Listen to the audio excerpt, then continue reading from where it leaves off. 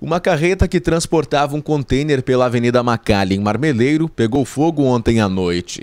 Era por volta das 8 horas quando as chamas começaram nos rodados do Scania com placas de Paranaguá e rapidamente se alastraram pela carga de ração que era tracionada.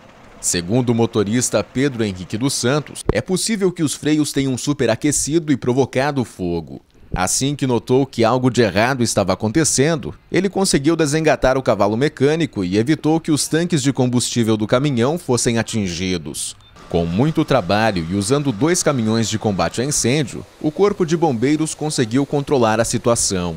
Felizmente, ninguém saiu ferido e o trânsito da principal avenida da cidade precisou ser desviado pela Polícia Militar.